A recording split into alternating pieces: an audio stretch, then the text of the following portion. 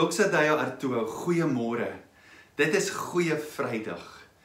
Dit is die dag wat die geskiedenis en die toekoms van die mens vir eens en vir altyd verander het.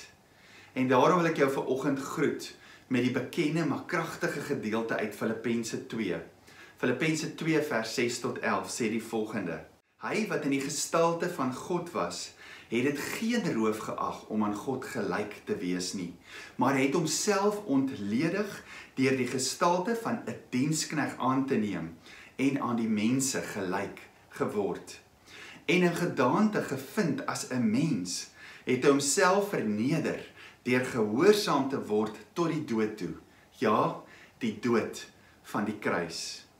Daarom het God hom ook uitermate verhoog en hom 'n naam gegee wat bo elke naam is, sodat in die naam van Jesus sou buig elke knie wat in die hemel en wat op die aarde en wat onder die aarde is en elke tong sou bely dat Jesus Christus die Here is tot heerlikheid van God die Vader. Wat 'n ongelooflike waarheid is hierdie nie vir ons nie. Die naam wat bo elke ander naam is, is die naam wat vandag deur sy gees binne in ons woon. En dit alles as gevolg van die afgehandelde werk van Christus aan die kruis.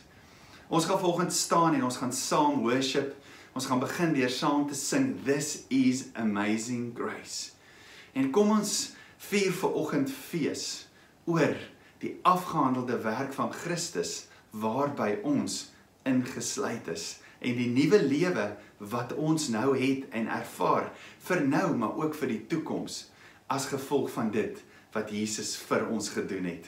Kom ons staan en sing saam.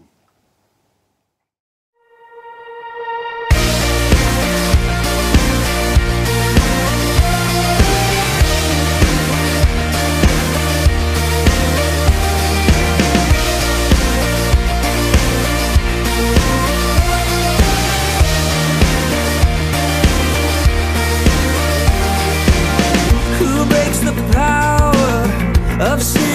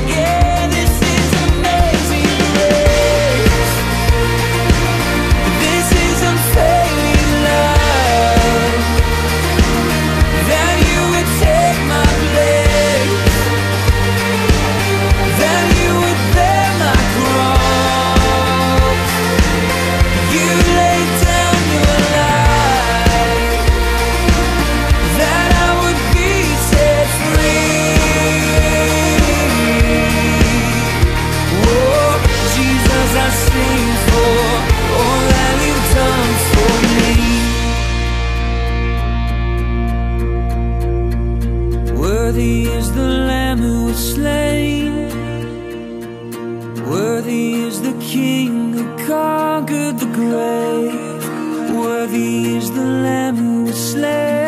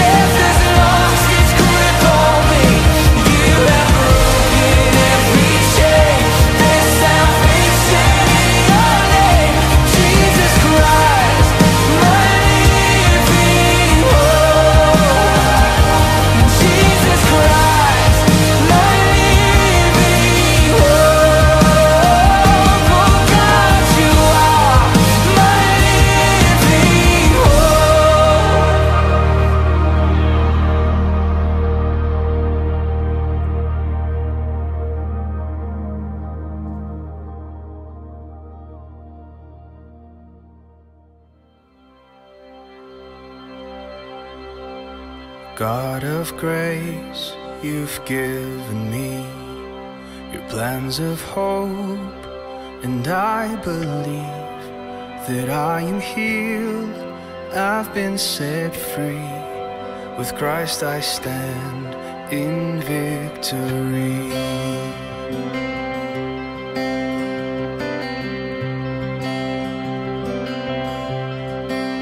In every season you are here conquered doubts, you cast out fears, and at the cross, my life arose. I reign in Jesus Christ the Lord. It is done.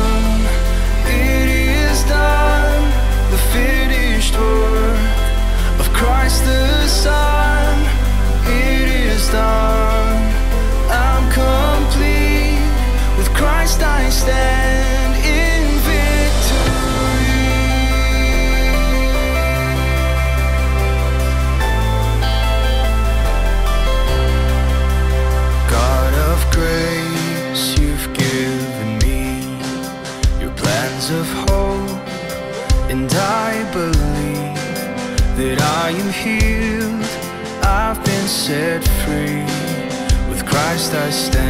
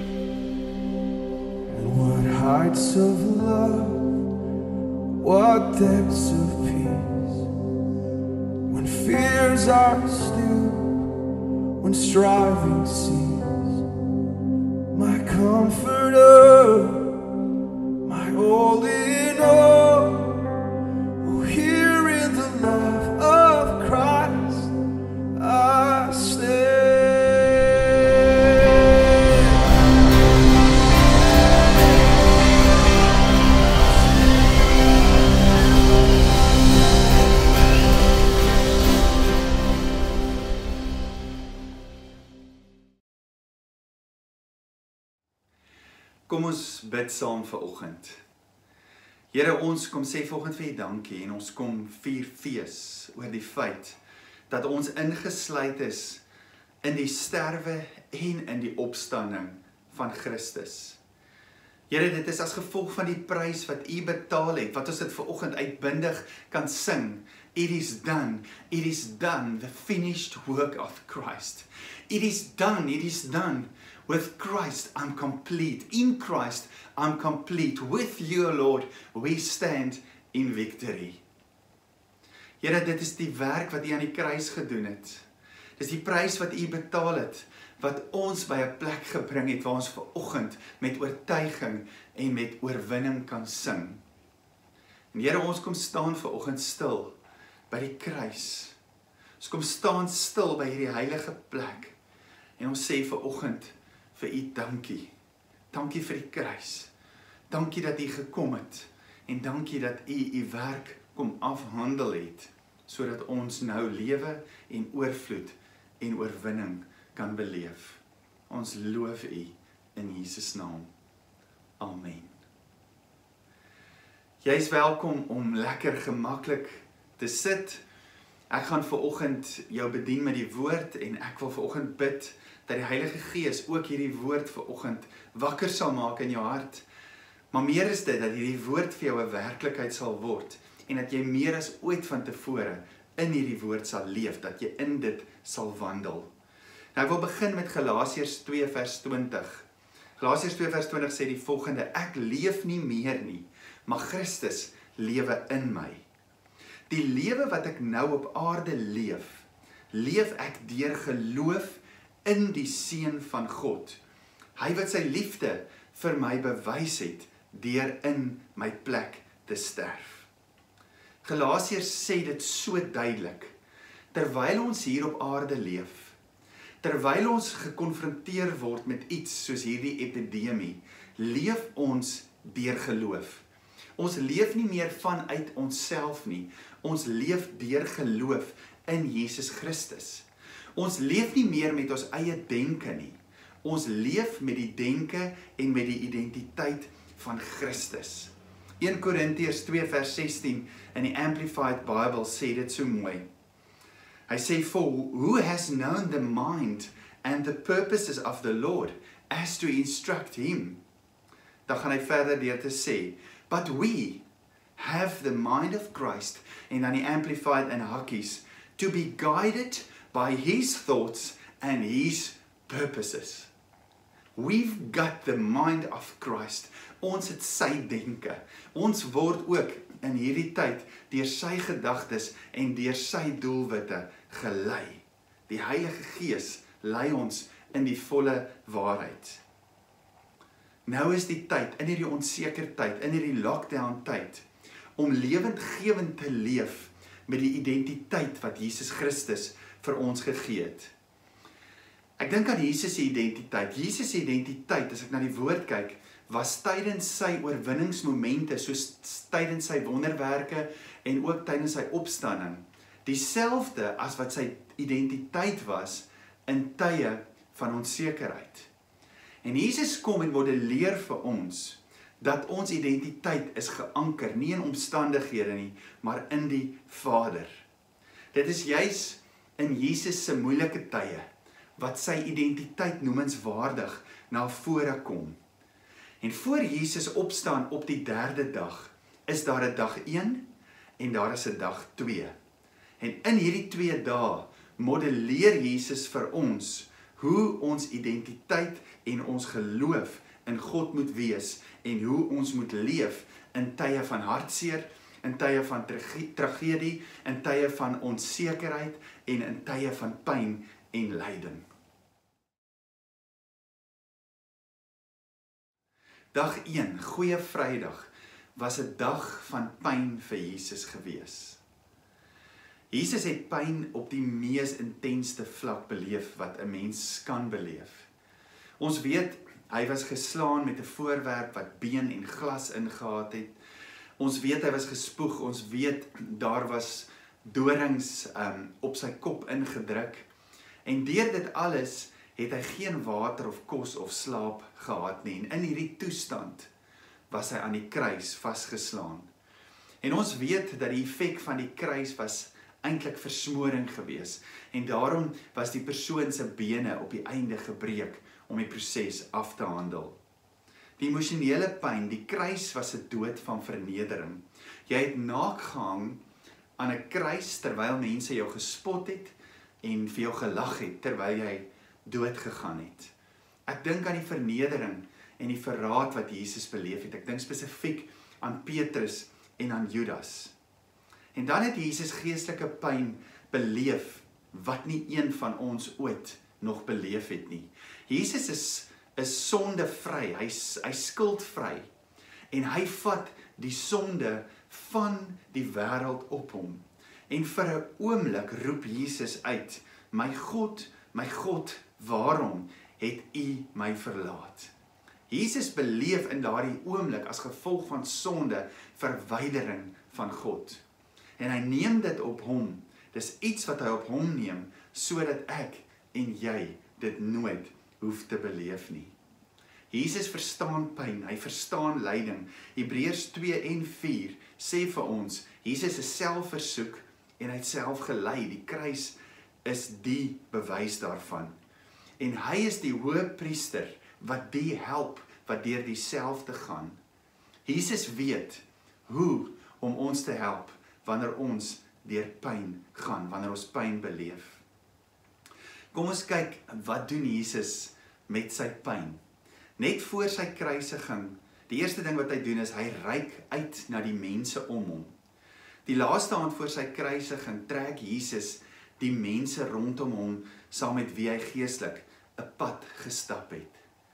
Selfs die seun van God het in 'n tyd van pyn en lyding mense rondom hom nodig. In Matteus 26 vers 38 sê hy vir sy disippels die volgende woorde: Ek voel doodsbenoud.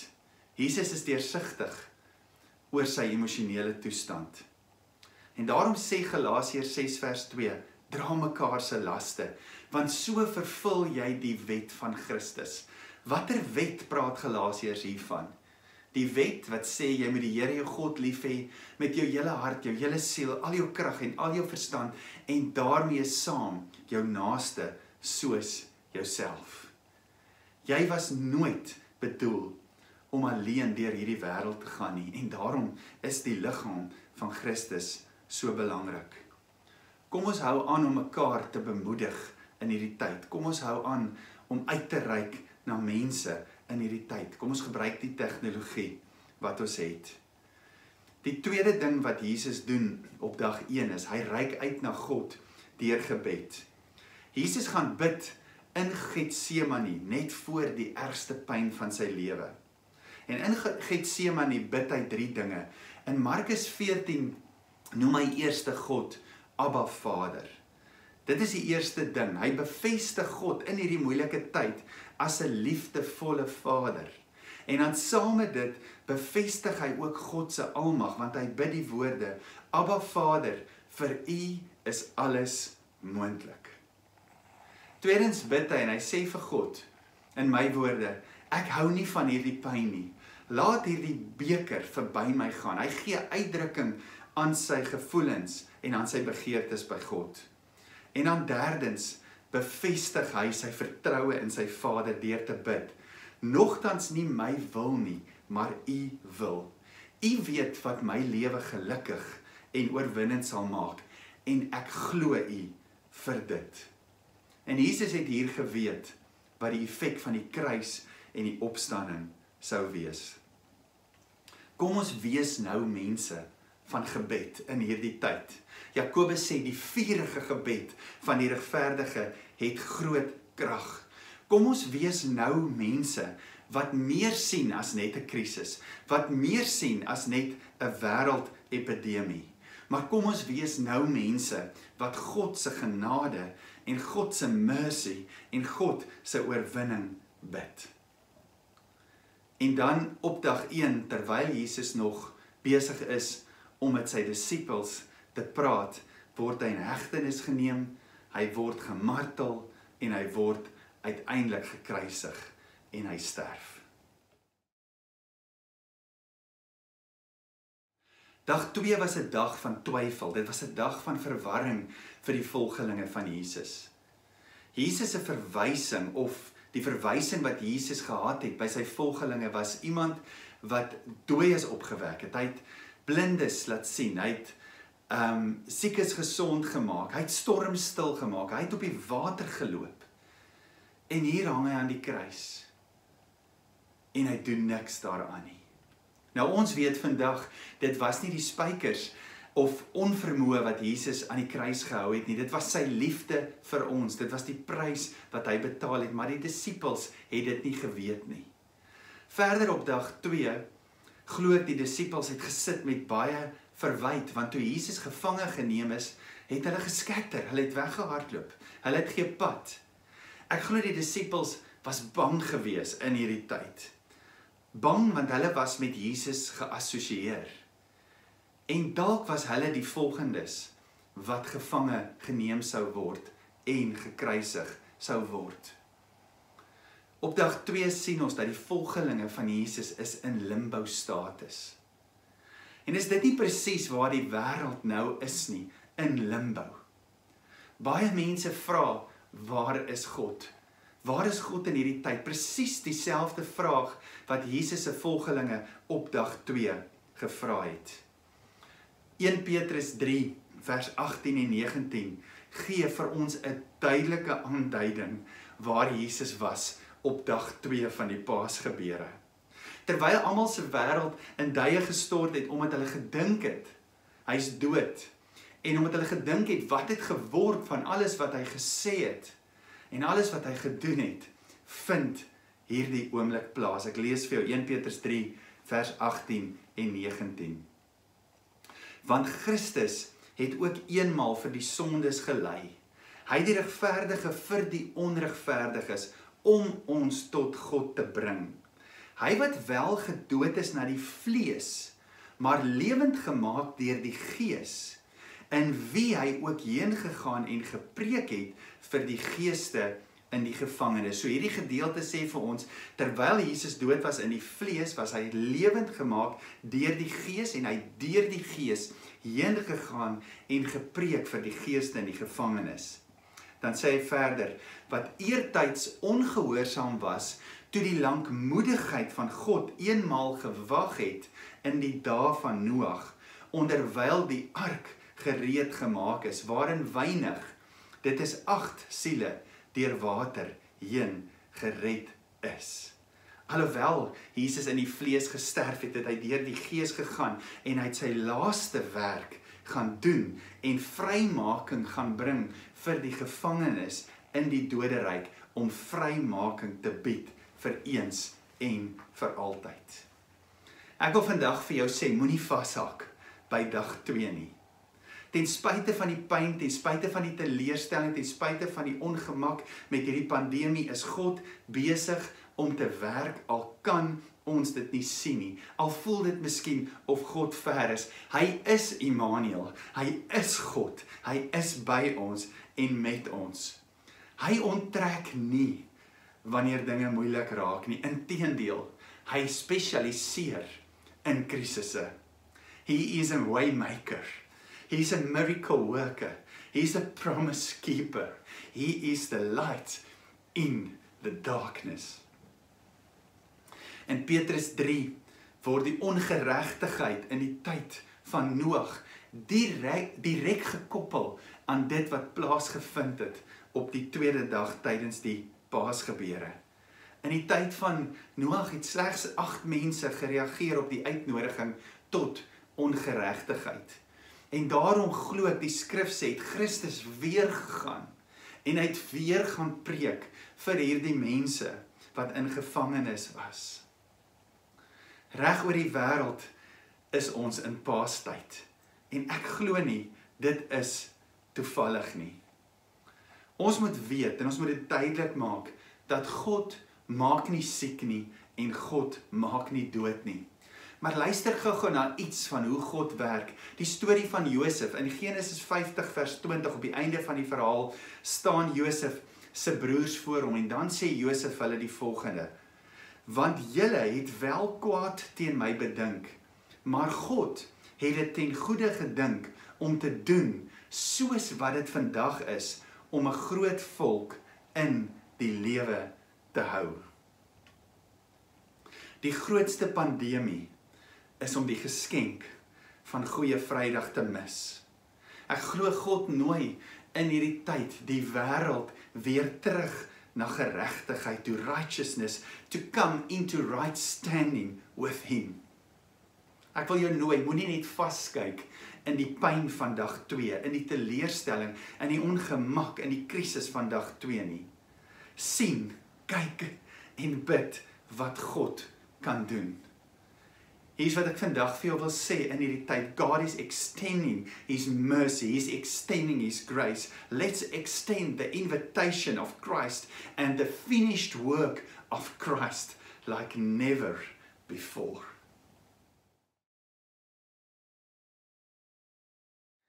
Dag 3. Hierdie is die dag van die opstanding. Dis die dag van die grootste oorwinning ooit. En ek wil vanoggend vir jou dag 3 opsom met die woorde van Jesus vanuit Johannes 11 vers 25 en 26. Jesus sê hier: Ek is die opstanding en die lewe. Wie in my glo, sal lewe al sterwe hy ook. En elkeen wat lewe en in my glo, sal in alle ewigheid nooit sterwe nie. En Jesus sluit hierdie gedeelte af met die woorde: Glo jy dit? God has made a way where there was no way. God created, he performed a miracle on the third day. En Jesus sê om deel deel te raak van dit, om dit deelagtig te raak, is so eenvoudig as om die antwoord te gee vir die vraag: Glo jy dit? God nooi jou vandag op hierdie goeie Vrydag in 'n nuwe lewe in saam met hom en met hom. Ek gaan afsluit met die lied wat oor die afgelope tyd so bekend geraak het. Waymaker, miracle worker, light in the darkness. Mag die Here jou seën en mag jy 'n wonderlike Paasnaweek verder geniet.